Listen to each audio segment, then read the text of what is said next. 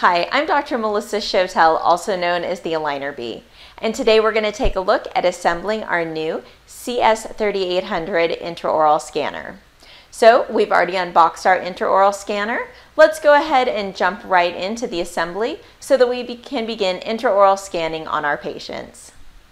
So I have my mobile cart here. I like to keep my intraoral scanner on a mobile cart so I can take it from operatory to operatory quickly, easily, and within my practice. So let's go ahead and take out the laptop and get that set up.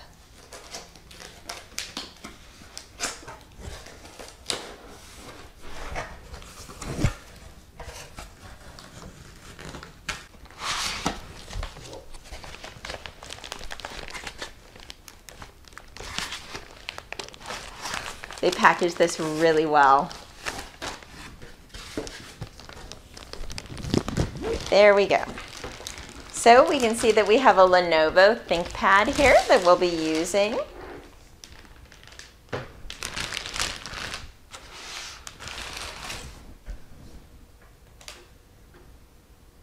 We'll begin by opening up the laptop and attaching the power source.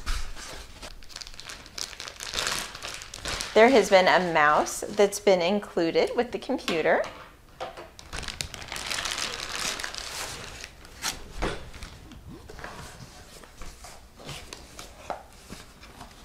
Here we have our power charger.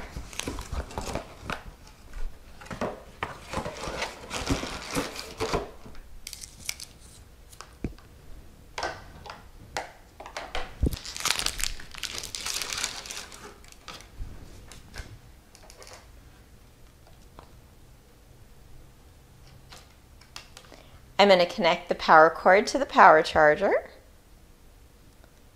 and we'll be ready to start our laptop. So the power is connected in the back of the computer. We can see the power port here. So we'll connect the power and then I'll be ready to plug into our power source.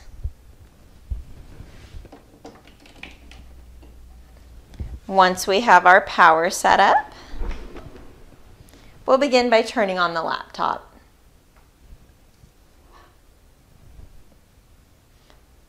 I'll need to place batteries in the mouse so that we can utilize this with our patient setups. And we can see the computer is starting with the CareStream logo. And we can see that our CareStream installation software has already been installed. Now, when you go through the installation process with the training team, they're going to help you set up all aspects of your intraoral scanner. However, let's go through a few of those steps today. Let's go ahead and take a look at assembling our CS3800 intraoral scanner. I have the laptop set up and ready to go. So our next step is to begin assembling the CS3800 and begin the batteries charging. So I'm going to begin by taking the cradle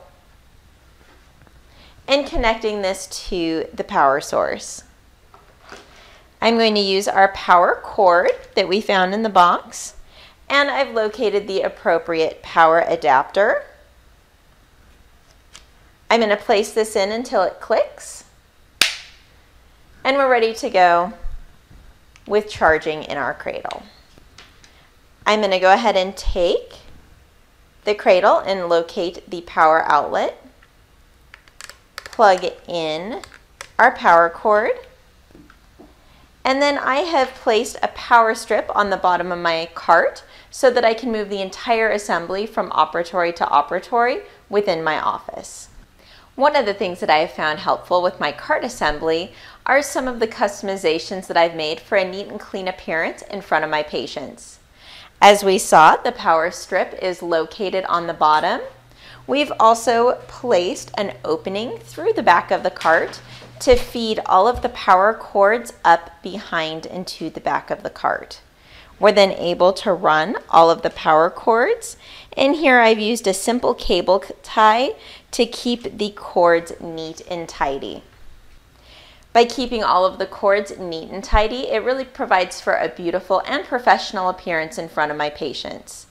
With our power cord now in place and all of the cords tucked out of the way, I'm going to go ahead and attach the power cord to the cradle.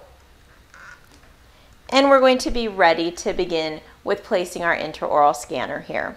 So let's go ahead and take another look at assembling our wand. When the wand arrives, there are a protective covering over the tip and over the area for the batteries. I'm going to begin by taking off the covering for the tip, and I'm going to locate the intraoral scanning tip that I want to begin with.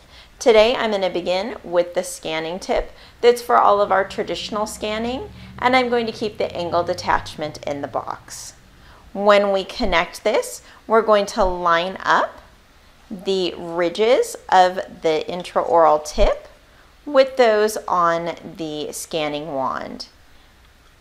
We can see here that there is an indicator on the front of the wand and on the scanning tip so that we can see we have these in the proper orientation. And I'm going to press the tip into place until we hear a click. Once we hear that audible click, I know that my scanning tip is fully attached to the wand. I'm then going to begin by placing one of the batteries into the wand. So we're going to take and we're going to line up the battery with the back of the wand and place in, in place until we hear an audible click. Our wand is now completely assembled. I'm going to go ahead and start the charging process by aligning the electric outlet with the place on the cradle. I'm going to place this here. And when we see the yellow lights light up and flashing, we know that the wand and the batteries are charging. The next step I'm going to do is I'm going to place the wireless receiver for the intraoral scanner on the laptop. Since we are scanning with a wireless scanner, we do need to have a wireless receiver to receive the information when it is going to the laptop. This is the magic that lets us avoid having the cord. We're going to begin by placing this in the USB outlet on the side of the laptop.